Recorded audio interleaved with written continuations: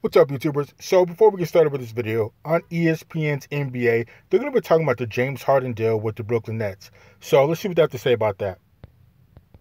Woj, lay it out for us. What do we know about how this happened and how we got to this point? First, guys, I am thrilled to be on this show. You guys know how much I love watching Yes! you The guys. man. But You're the man, Woj. It, it- listen, this is this is a massive deal uh, all around.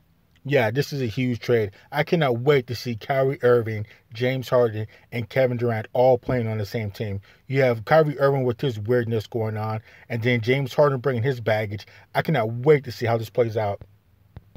Uh, listen, for the Brooklyn Nets to go out and get James Harden, you know, this was something that Kevin Durant very much wanted.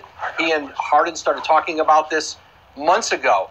And listen, with the uncertainty surrounding Kyrie Irving right now, and I think there's still hope, expectation, he returns and plays for this team. Remember, free agency comes back upon you pretty quick in this league. You know, Kevin Durant's in the second year of a uh, of a four year deal, and getting Harden that's another reason for for Durant to want to stay. But now, if you get Irving back uh, and, and he's back to playing at a high level, you have a one, two, three, uh, perhaps unlike we've seen in this league in the modern era, but certainly it comes at a steep price for. Oh, it comes with a steep price, and I can't wait to see that price. Like I said, you get all those boys playing together, there's going to be a bunch of drama going on to who's going to be the most ball dominant, how they're going to play that, where they're going to play that.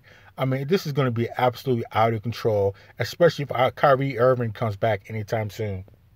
four first round picks, uh, four uh, pick swaps. The picks are unprotected. One of those picks is coming from Cleveland. This is part of a three way deal, really a four way deal. Caris LeVert goes from the Nets to uh, the Indiana Pacers, and Indiana sends Victor Oladipo to Houston. So a lot of moving parts in this Wow, Oladipo to Houston, huh? deal. Yeah, you mentioned some of those moving parts, and the Kyrie piece of this is really interesting. I want to get back to that, but let's talk about this four team deal. Give us a little more detail on the second level part of this, other than just James Harden joining the Nets. Well, I, I think th- this was a deal really that came together uh, in the last couple days, and Philadelphia was very much uh, in pursuit of James Harden. Obviously, Daryl Morey, their uh, president, uh, traded for him in Houston, won a great deal with him.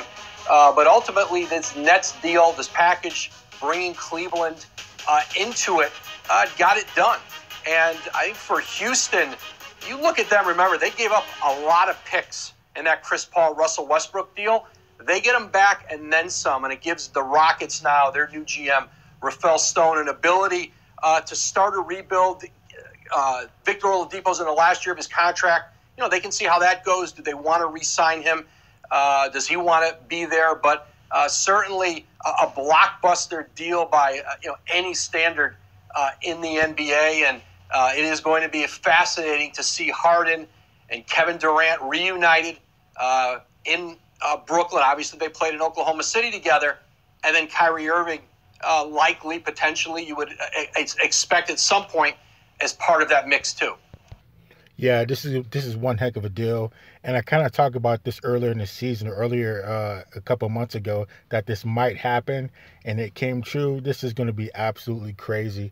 If there was at any point you were kind of getting kind of bored with the basketball season, which I don't know how you would be because it's still early, um, this should definitely revive your interest in the NBA because this is going to be a drama-filled Brooklyn Nets team that I cannot wait to see. Um, again, you know, even just with playing on the court, who's going to be the most ball dominant? How are they going to play that?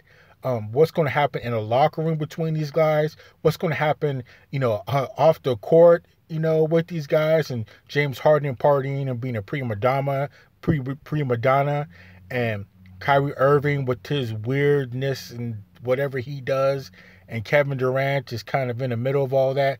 This is going to be a great. I cannot wait to see this team play. I cannot wait Wow. As all this was coming down, Woj, on your Twitter, it was like looking around like,